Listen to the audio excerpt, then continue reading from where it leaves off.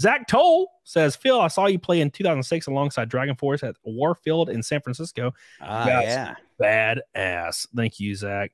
Um, you know, that was a question I kind of wanted to ask you because um, I noticed that I don't know how the music industry is, especially in metal, but you know, you have you hold, uh, I guess, you know, opinions that most people probably hold, reasonable people. Um, Mhm. but does does those opinions ever get in the way of like like shows or maybe bands that you know or people you know within these spectrums where they're like, oh, I don't want to, you know, go on. I don't want to be on a tour with Phil because he thinks this or this about guns or some shit. You ever experienced that? It's likely not about guns. Um, I haven't noticed that people have much of a perspective on that or much of a strong opinion on that. Um, I'm sure that there are people that have said they don't want to do things because they don't like my politics. Uh, it's not anything that I'm uh, aware of. So nobody's been like, oh, you know, they said they don't want to because you're this. My politics are not that. Are like I'm a, I'm a, a generally a kind of libertarian dude, so it's not like Yeah. I've got super weird politics. It's like basically I just don't want the government to do things because when the government does things, they do's things wrong and they Yeah. screw things up. You Yeah. know, that's essentially what it is. Look, they're Yeah. bad at shit. They're constantly bad at shit. We constantly hear they're bad at shit. So maybe we shouldn't have them like trying to live our lives for us. That's my basic political opinion. Um, so I haven't noticed that, but I'm sure that there are people in the in the music industry in the business side that don't like me. And the reason i know this is because i've heard stuff from people on the business side. That's you know it's not the bands. It's you know people in in in positions at uh companies that you know that you typically would think have opinions um so like, oh, you know, we don't want to promote that band because of this, or we don't like this, uh, this opinion. But it it just boils down to leftists, like committed leftists, not just your regular like Democrat kind of people, but like actual leftists, um, trying to do what they can to to either not work with us or to to keep us from.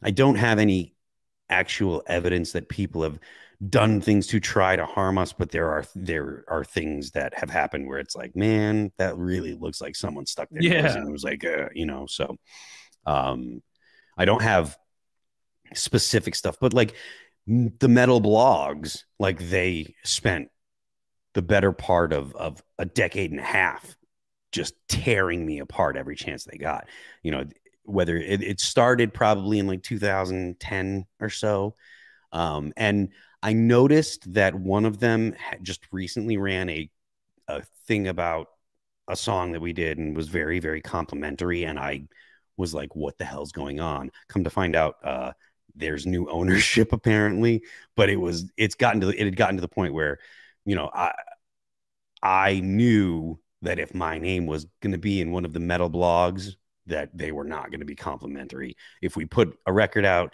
they weren't going to be complimentary about it if i say something on the internet they're not going to be complimentary you know so and they and it was because of politics because they had stated their you know their own politics were very far left and and they didn't like the idea of someone like me um being successful It's you know what's weird to me? The weirdest thing about all of this is it's whatever to disagree with someone. Like we Mhm. do this shit every day. You know, I might I may not like spaghetti, but you may. That's Mhm. it's it's it's a normal occurrence in human life.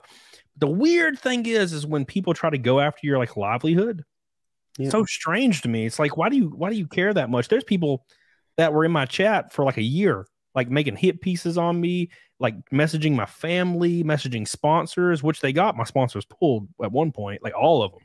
Um, just crazy shit. all Like, because you like boobs yeah, all because no, it was shit. I don't even remember what it was about. I think it was because they didn't like my voice. They they thought that my red like my redneck ass accent, which I'm not proud of. Um, they thought it was fake. Like I created it as a character. Mm. Like, dude, I'm from Hokes Bluff, Alabama.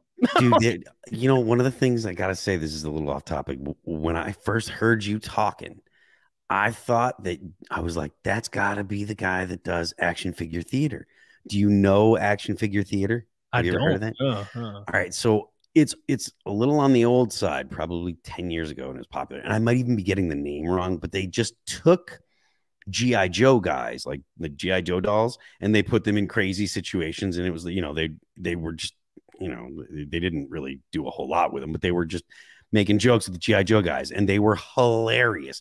And you sound like one of the characters, and I was like, is that the same dude? And I was looking in and kind of find out you're not because Yeah. obviously you don't even know what it is. But People tell me I'm da- they I sound like Danny McBride all the time, and I don't hear that. I don't hear it at all. I don't know who I'm not sure who Danny McBride is. Oh God, he's in every damn thing. He have you ever seen that show? Um, it's called The Righteous Gemstones. no. God, it's a great show, man. Um, he was in uh, Pineapple Express. Uh, he's in a ton of damn movies, and he's like the redneck guy with a mullet in every movie. Just redneck guy with a mullet, and they're always like, "You sound like Danny McBride," and I'm like, Oh, okay. "Yeah, he's just he- Yeah. yeah, he's just in every damn thing." I mean, I could I could see why people might think you sound a little bit like him. Yeah, I don't, I, I can't hear it, but you know, that's just how it is sometimes. Just can't hear right. that shit.